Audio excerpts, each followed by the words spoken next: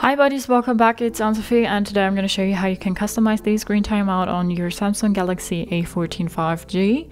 For that, you want to go to your settings and then go to your display and then go to screen timeout. It's set to 30 seconds right now, but you can also choose between 15 seconds, 1 minute, 2 minutes, 5 minutes, 10 minutes and 30 minutes.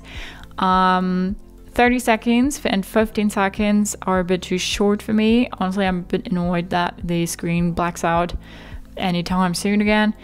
Um, and then five minutes, 10 minutes, 30 minutes are a bit too long. I'm gonna go with one minute now, but you can totally go ahead and choose whatever you like. And then, well, choose whatever you like and just go back, use your phone as normal. And when we don't touch it and it just lies there, then it will, well, black out and lock itself after the time you just put in there. So that's how you can customize the screen timeout on your Samsung Galaxy A14 5G. Hope you liked it, hope it helped. If so, thumbs up, share and subscribe, and I hope to see you next time. Bye.